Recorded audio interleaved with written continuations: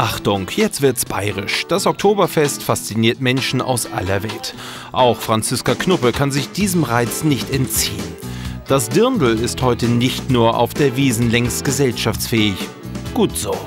Ich denke, gerade ein Dirndl ist sowas Spezielles für eine Frau, dass es wirklich erstmal jeder Figur auch schmeichelt, egal ob du dünn oder doch ein bisschen weiblicher bist, weil das wirklich auch die weiblichen Formen betont. Und das ist ja auch das, wonach die Männer dann schauen, gerade was dann so hier oben so abläuft. Und was läuft ab, wenn Franziska Knuppe mal auf die Wiesen geht? Das Topmodel mag es bei Shootings gern mal ausgefallen, aber auf dem Volksfest, da steht sie eher auf die bodenständige Unterhaltung. Ich bin eher nicht so der Achterbahntyp. Also Kettenkarussell finde ich ziemlich cool, weil es auch noch so was Nostalgisches hat und ein bisschen Traditionelles. Aber alles, was zu modern, zu schnell und sich zu schnell dreht, das. Nichts für mich. Ich bleibe lieber im Bierzelt dann sitzen.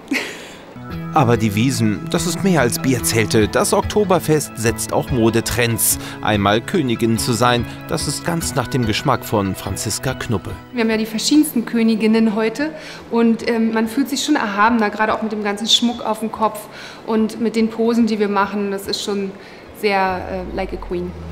Die Potsdamerin entdeckt ihre bayerische Ader.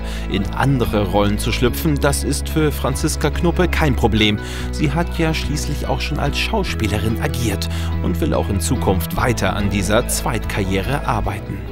Ich denke schon, dass es da sehr, sehr viele Parallelen zwischen Modeln und Schauspielerei gibt. Also man hat nicht die Sprache und es ist natürlich schon eine andere, eine andere Herausforderung, wenn ich vor der Kamera sprechen muss und eine, richtig, eine richtige Rolle spielen muss.